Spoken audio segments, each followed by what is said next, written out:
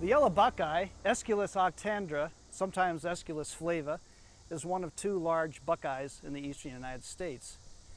It has a very distinctive leaf in that it's palmately compound.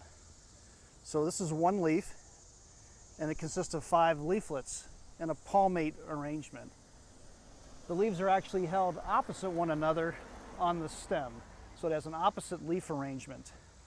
The fall color on yellow buckeye, very nice combination of bronzes and yellows and golds. It's beautiful in the fall. The fruit on buckeye is a large structure. For a yellow buckeye, the husk is smooth. For the Ohio buckeye, it's actually very prickly. And when this is when the seed is ripe inside, the structure opens up, exposing a large mahogany colored seed that looks like a buck's eye. It's a beautiful feature and it germinates fairly readily after going through cold stratification. This tree is native to the southern Appalachians where it gets to be four, five, six feet in diameter and it's a very beautiful, magnificent tree in the Cove Hardwood Forest.